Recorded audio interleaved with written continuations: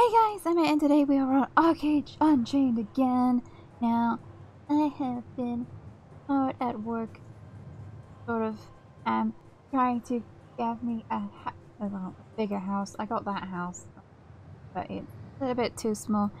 So, I've been trying to get this house done. Head over to, um, the workbench. It is in uh, Mahadevi. It's pretty close to the workbenches. But um, I I found the uh, the spot ages ago. Um, I was originally in Solis. I moved because I found a bigger spot. Uh, yeah. I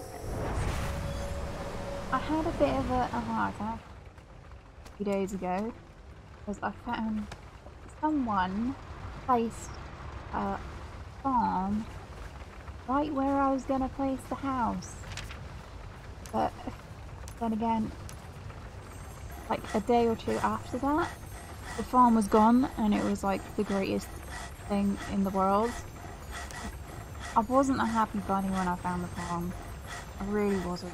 Because I had been saving up my guilders two, three weeks. And one place to farm where I was going to place the house. It wasn't fun at all. But the uh, the farm was gone like days ago. I was quite happy. Like so close to getting this house done. So excited. It's taken so long to get this house done. And it's taken so much money, so much labour. And it's like, can I please get this house done now? So we're on the last raid, the last run now. We are done. The house is almost complete. The excitement for getting this house done is like really I've gone for a chateau. It's not like it's not the biggest house. I mean, I've had mansions in the past, but I I didn't enjoy it. so big and so hard to. So I went for I went for a chateau.